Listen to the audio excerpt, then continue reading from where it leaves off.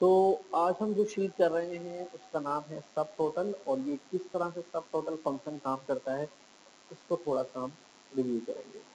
देखिए, यहाँ सबसे टॉप पे लिखा हुआ रहा है सब टोटल देखिए सब टोटल क्या होता है? एक था टोटल मिसाल के तौर पर मैं नीचे गया और इन सब का यहाँ पे मैंने जाके क्लिक कर दिया फॉर्मूला में जाके ऑटो सम कर दिया एंड देन क्लिक करके एंटर कर दिया तो ये इसका आ गया total this is called normal total अब टोटल और सब टोटल में क्या फ़र्क है, इसको समझना है।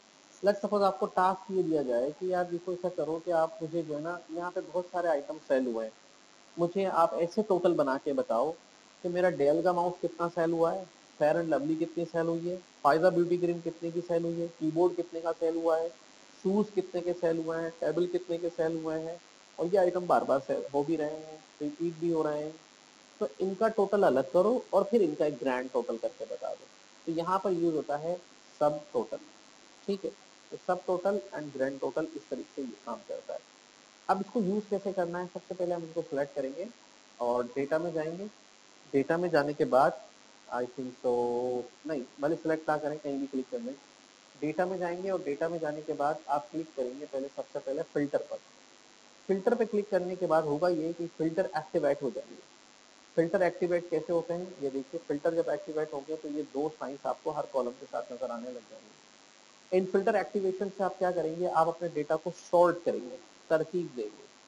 तरतीब दो तरह से दे सकते हैं असेंडिंग ऑर्डर में भी दे सकते हैं डिसेंडिंग ऑर्डर में भी दे सकते हैं। फर्दर आप कोई भी दे दें असेंडिंग करें डिसेंडिंग करें अपनी मर्ज़ी।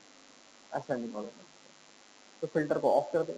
एंड देन जब फ़िल्टर को ऑफ़ कर देंगे आप तो एक दफ़ा फिर से आप जो डेटा है आपका, उसको सेलेक्ट करेंगे।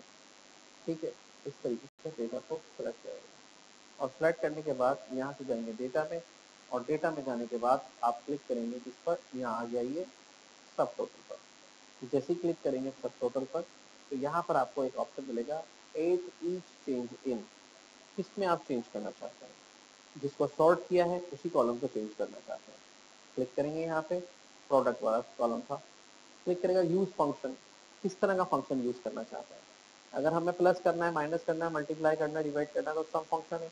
इसके अलावा काउंट फ़ंक्शन है काउंटिंग के लिए एवरेज नंबर मालूम करने के लिए मैक्स नंबर मालूम करने के लिए मिन नंबर मालूम करने के लिए प्रोडक्ट मालूम करने के लिए डिफरेंट फ़ंक्शन है। फ़िलहाल मैं सम ही मालूम करना चाह रहा हूँ। ये फ़ंक्शन कौन से कॉलम पर अप्लाई करना है?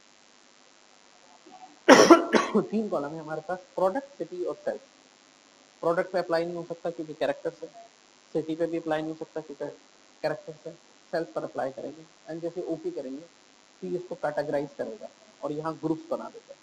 यहाँ से आप इसको कॉलेप्स करेंगे कॉलेप्स करेंगे कॉलेप्स करेंगे। जैसे जैसे कॉलेप्स करते जाएँगे, सारा डेटा आपके सामने कॉलेप्स होके आ जाएगा।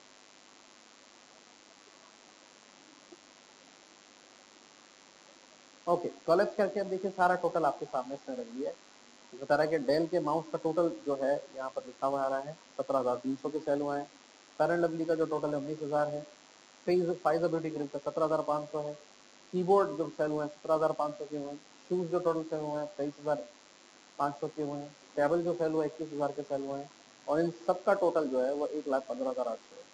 किसी की डिटेल देखनी है तो आपको यहाँ से कॉलेप्स भी कर सकते हैं और एक्सपैंड भी कर सकते हैं। जिसको एक्सपेंड करेंगे, उसका सारा टोटल आपको यहाँ पे शो हो जाएगा। कितनी बार कहाँ पर अब इस डेटा को रिलीज़ कैसे करेंगे? आंसर लेने के बाद प्रिंट आउट लेने के बाद। रिलीज़ करने के लिए दोबारा से आप जाएँगे यहाँ पे डेटा में। डेटा में जाने के बाद आप दोबारा जाएँगे सब टोटल पर और यहाँ से आप आएँगे, यहाँ पे लिखा रहा होगा रिमूव ऑल जैसे आप रिमूव ऑल पे क्लिक करेंगे तो आप देखेंगे कि आपका सारा डेटा दोबारा से रिलीज़ हो चुका है। सेम मेथड अगर हमें सिटी के ऊपर अप्लाई करना है, हम दोबारा जाएँगे फ़िल्टर को ऑन करेंगे। फ़िल्टर पे क्लिक करके सिटीज़ को जेड टू ए या ए टू जेड फॉर्म में हम इसको पहले क्या करेंगे? सॉर्ट करेंगे। फ़िल्टर को ऑफ़ करेंगे, दोबारा से जाएँगे यहाँ पे डेटा में, सब टोटल से क्लिक करने के बाद यहाँ से आप चूज़ करेंगे किसको सिटी को और सब करेंगे हमेशा सेल्स को ठीक करेंगे। एंड देन ओके करने के बाद आपके ग्रुप बन जाएँगे और यहाँ पे सबको अनग्रुप करेंगे पहले आप। यहाँ पे तीन शहरों की आपकी सेल आपके सामने आ गई, पहले शहर की, दूसरे शहर की, तीसरे शहर की। डिटेल्स मालूम करने के लिए एक्सपेंड करेंगे।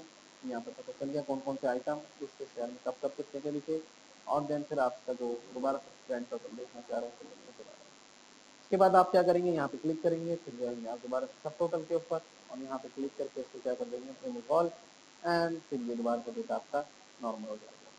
ठीक है? तो इस तरह से आप सब टोटल से डेटा को कैटेगरी वाइज सम करके उसका टोटल